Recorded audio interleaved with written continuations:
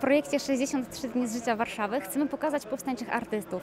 Zarówno tych, którzy są znani, bo Fog, czy pani e, Danuta Szeflarska, czy Alina Janowska, e, o nich wszyscy wiedzą, że byli w powstaniu, że e, tutaj działali. Natomiast nikt nie wie, kto to był Jaglarz.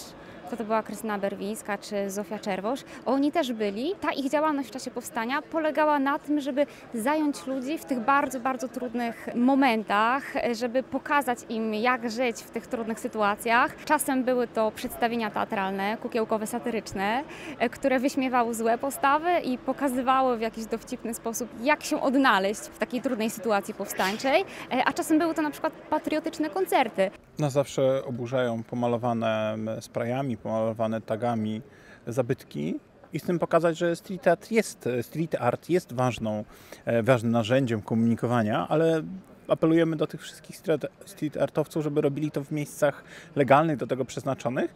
I dziś zaprosiliśmy najbardziej znanych warszawskich street artowców, żeby namalowali, e, zaprojektowali upamiętnienie bohaterów Powstania Warszawskiego. Tych, którzy nie walczyli z bronią w ręku, a swoim talentem artystów, e, fotografów, e, ludzi, którzy kręcili kroniki powstańcze, aktorów, e, żeby ich pokazali w, w takim skrócie, w takiej, tak po swojemu. Tak? To, jest, to będą inspirowane zdjęciami, wizerunkami tych osób prace. Kolorystykę założoną mamy taką. Jest kolor czarny, jest kolor biały, jest paleta szarości i paleta czerwieni.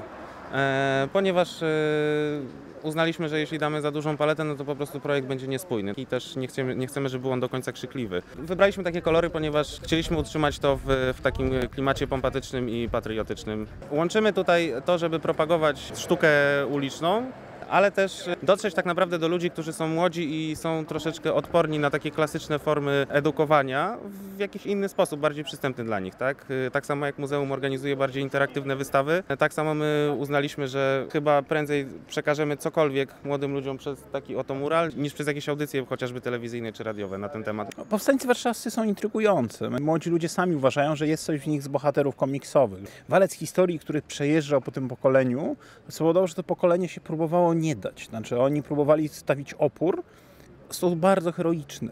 I to nadało rys temu całemu pokoleniu taki nadnaturalny. My uważamy, że ci ludzie byli tak heroiczni, że nie wiem, czy byśmy my potrafili być tacy.